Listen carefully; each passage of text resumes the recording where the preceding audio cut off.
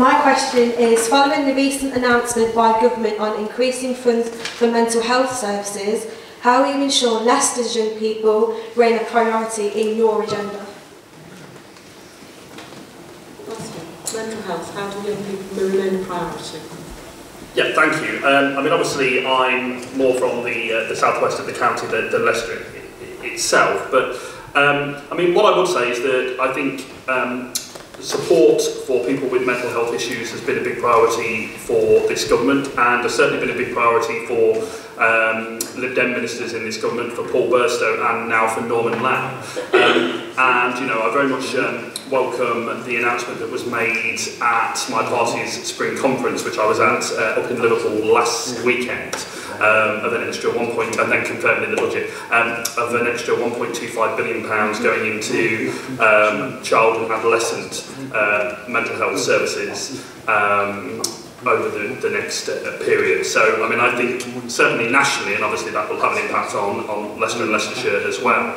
Um, we are making that investment, but, it, but it's also perfectly true, and you'd be right to come back to me and saying that overall in terms of um, overall mental health funding, it, it has gone down over, over the past five years.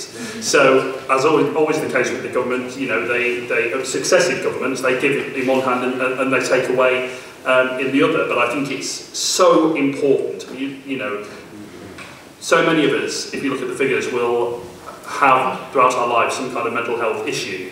Um, and obviously we need support um, as and when that occurs. But I certainly think in terms of children and mental, children and adolescent mental health services, this new funding uh, that Nick Clegg announced will be of great benefit.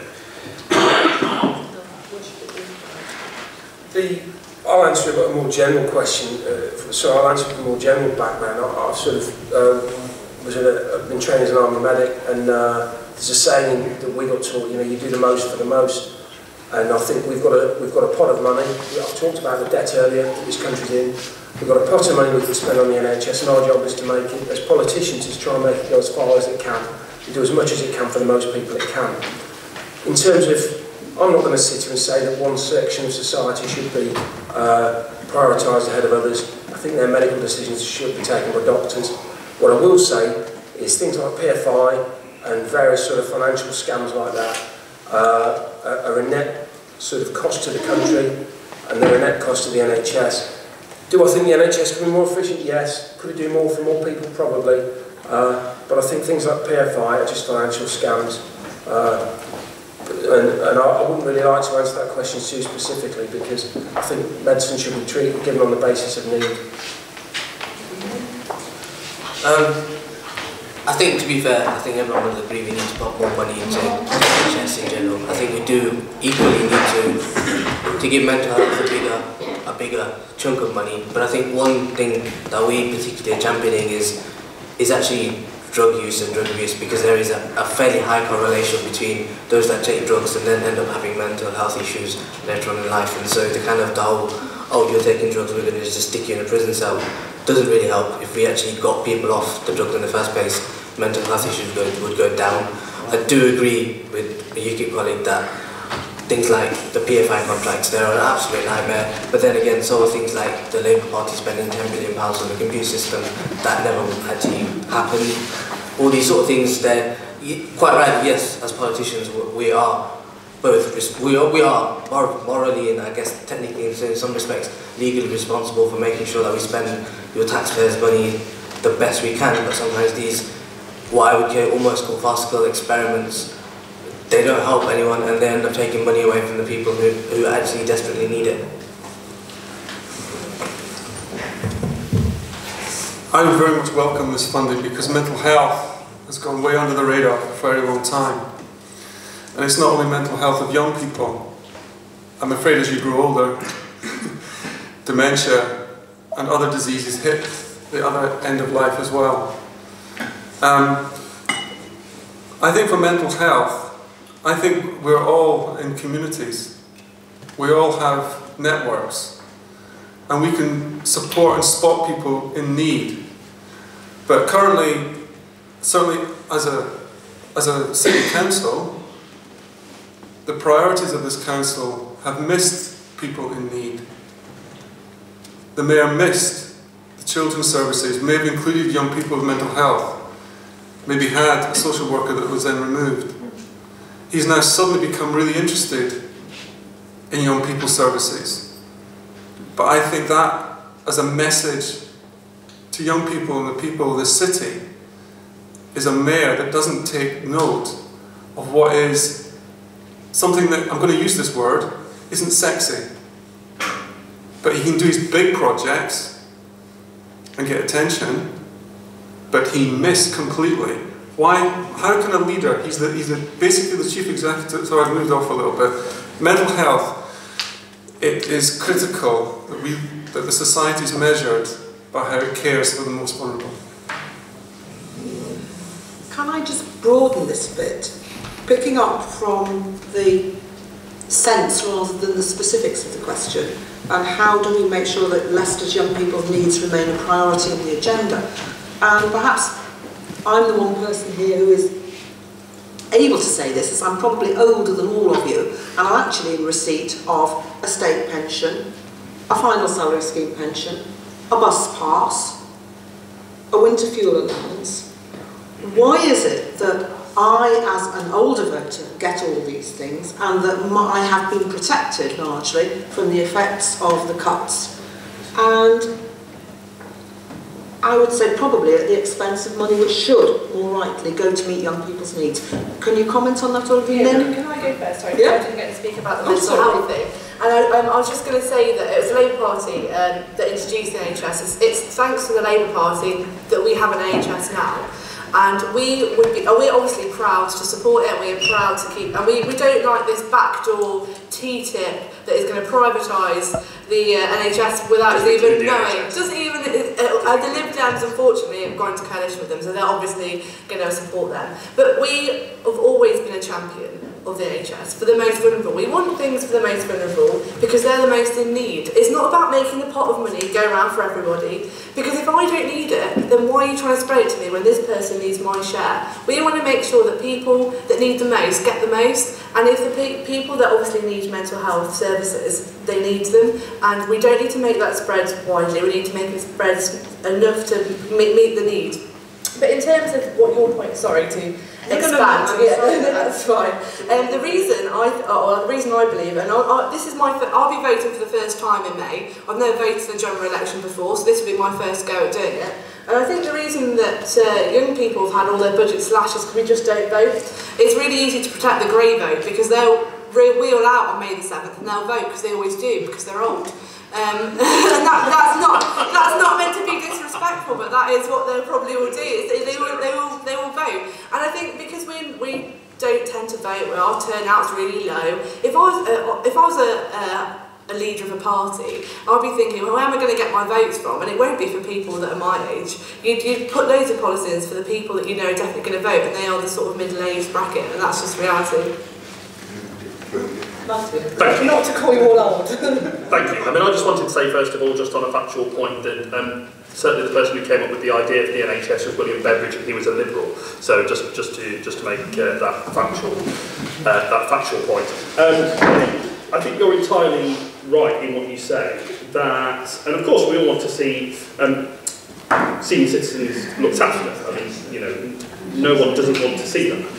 But I think, you know, successive governments have done exactly what a Labour friend here says, which is that they decided that older folks go out and vote, they want those votes, and so they'll make sure that all the little freebies, all the little nice things, all the little extras um, are protected, whilst constantly kicking your generation. And I mean, I must admit, I'm, I'm, I'm amazed that, you know, you guys of, of your age you know, on, on the streets kind of protesting about this. I mean, I, I would say this about, because although I am a Lib Dem and support some things in this government, I'm very much on the left of my party and have opposed a great deal of what my party's done in coalition. I'm perfectly uh, frank and honest about that. And I think one of the things they have done as a government, so that my party's MPs must be included in the blame for it, is they've constantly kicked younger generations. They, they, they've taken away a whole load of um, benefits and other things that, that, that you guys have.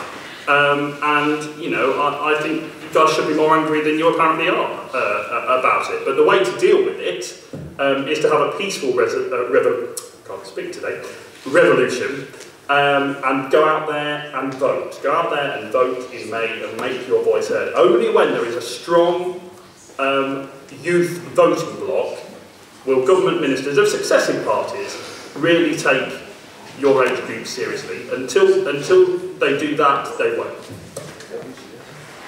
Yeah, I'd agree with all, all of the people. I mean, that, that's the people who've been before me. That, that generally is the reason why sort of I think younger generations do get shafted. Uh, I actually think it goes even deeper than the, the bit we've discussed when you look at the sort of monetary policy central banks have done. You know, it's all been to bail out sort of asset holders. The people who own shares and generally own houses outright tend to be older. So they've done well on that basis. In terms of incomes, over the last five years, 2008 to about 2014, the average working age household income went from 37,900 a year to 33,000, I think 500. And that was a nominal drop. So you add on inflation as well. Working age households suffered because their incomes aren't RPI linked. A lot of older people, pensioners, whatever, their incomes are RPI linked, so they're protected from the effects of inflation. Uh, and that's another kick in the teeth for younger people, on top of all the debts you're going to be paying, we're going to be paying as well over the next 20, 30 years. Uh, not a great position to be in.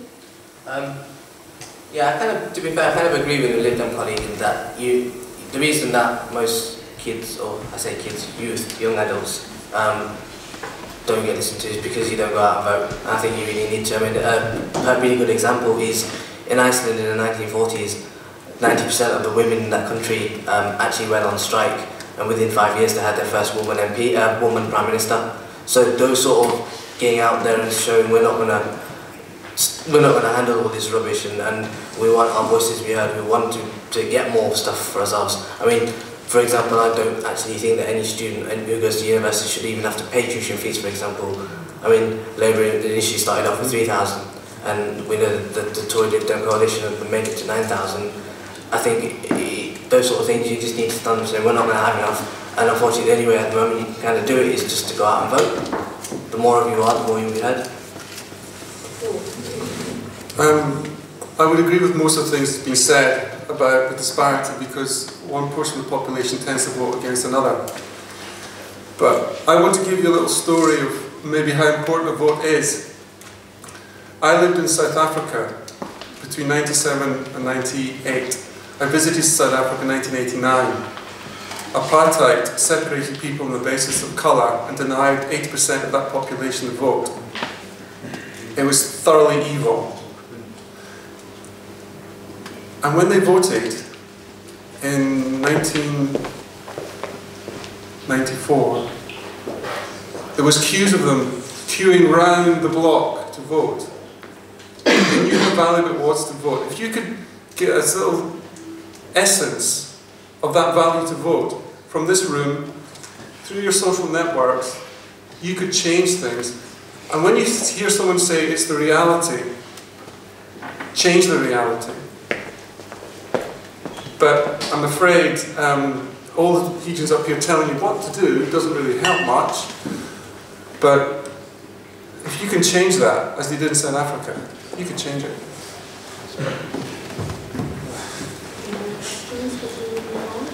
Yeah. Yes. Um, I just want to say, um, gentleman next to here, I can't remember your name, sorry.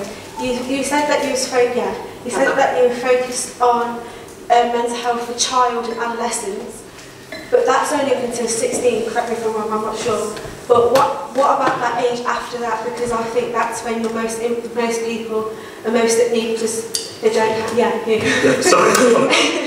I was thinking, don't sort of shut up. So I wanted to know Yeah. what you're going to do for, for the young people rather than the child and adolescents because like you've missed out an age gap and I think and it, that was when it most affected me and when I was basically treated the worst way and I'm not going to explain now but you kind of missed out the age gap that I was and I don't want that to happen to other people so I wanted to know what you're going to do for those young people as well as the child and adolescents because that's not in the age gap that Yeah. you were talking about. Well, well, again, I mean, I mean, something. You know, I'm, I'm, I'm, I'm not the health minister, um, and uh, mental health isn't my particular area of expertise. But all I would say is that there should be funding across the piece in terms of um, uh, age groups. Um, and you know, it, it, it has been wrong that we've seen um, overall funding cut for, for, for mental health over the past five years of this uh, government. Um, and I think whoever is in power, whatever kind of coalition or otherwise we have post-May,